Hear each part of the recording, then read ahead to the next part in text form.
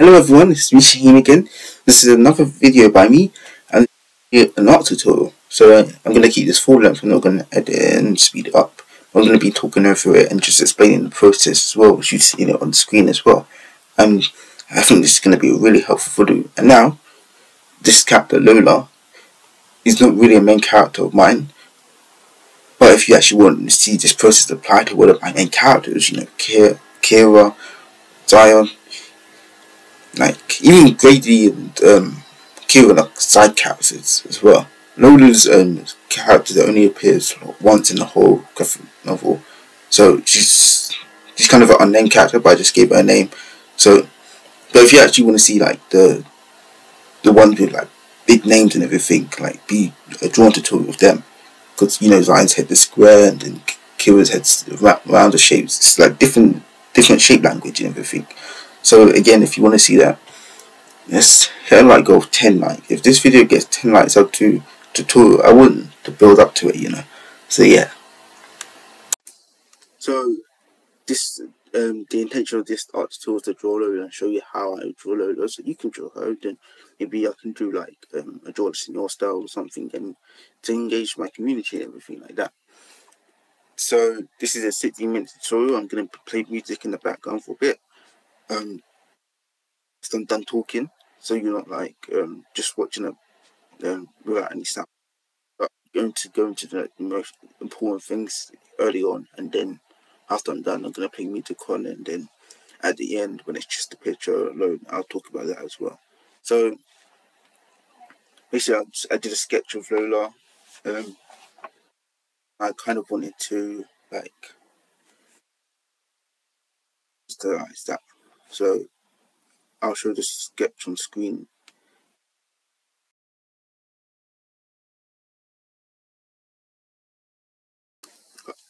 I knew going into it I wanted to kind of change the expressions or change the direction of the eyes as well. So that was going in my mind because the scene that the sketch is from involves another character and um, that's my main character Kira and I don't want to I could show it on the screen obviously but I want to kind of um, save her appearances, make them more special and everything. So, because this video is going to kind of not be about her at all, and when it's already hard, you know, you want it, you want them to be like, you know, as they're showing that they're they they've either got a role or they're just not showing. You know, that's I kind of want to treasure them and make them valuable and special, and everything. And Lola, if this video gets 10 likes and if it gets even more, she could. But she's actually part of the world that I set Zion in, not actually the world I set Kira in. So it's kind of like a collision of worlds. Even though one's not really set, like, one's not definitely set in this decade, one's set in that decade. Like, they could literally be in the same decade, same year, same country, same anything well, not same age, um, same school year, but apart from that, yeah. So, yeah, I'm just like showing you the process of how I would draw Lola, and it's a process you can follow along. Again, it's not speeded, so you, you won't like for like you have to pause the video. Well, you can if you want to. That's completely optional, but you don't have to do. You won't be forced to pause the video and then break it down. Like you can just follow along at your own pace and yeah, so kind of hope you enjoy.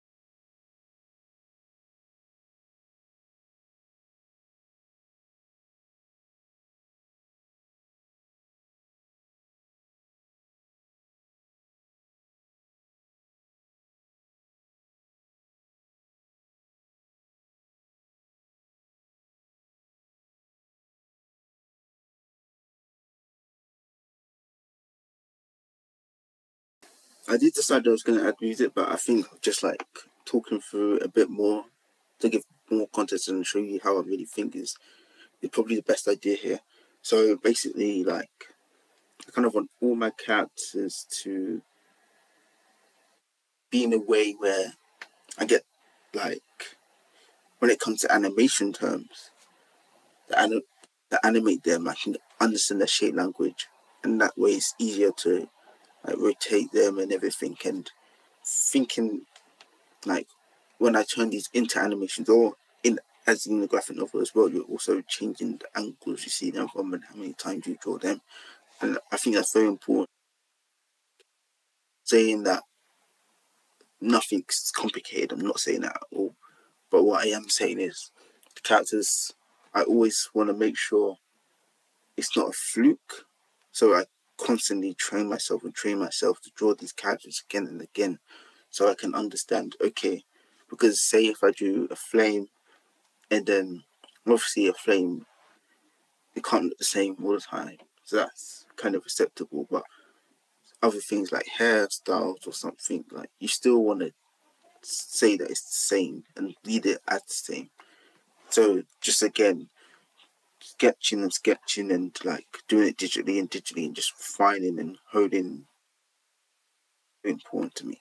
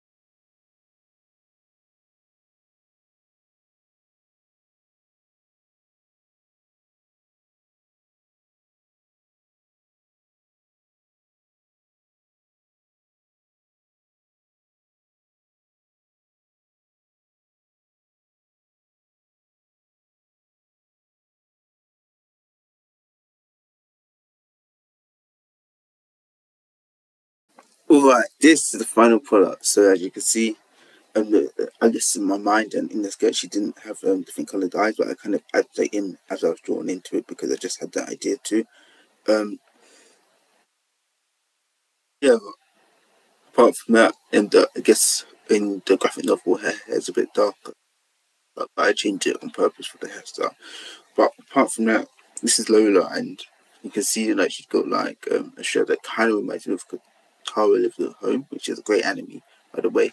And um, yeah, she just kind of, you don't know what she's looking at, but it creates some kind of curiosity and conversation. And like the piece, like like the different shapes and everything, like like the eyes. I really like drawing these eyes the first time I drew them. They're so unique. They're kind of inspired by Egyptian um Egyptian um like mythology or what's the word I'm looking for? Um heritage, history, like interpretations and then some based on actual and it's like an interesting take and blending. I really like that. Um yeah. So it's a bit of influences from Egypt and then other places like um but planet culture and everything and yeah. So because I guess if Lola was to give her ethnicity, she would be Hispanic, I would say and then Hispanic Egyptian, and yeah. So um, yeah, I really enjoyed making this piece. Thank you for watching.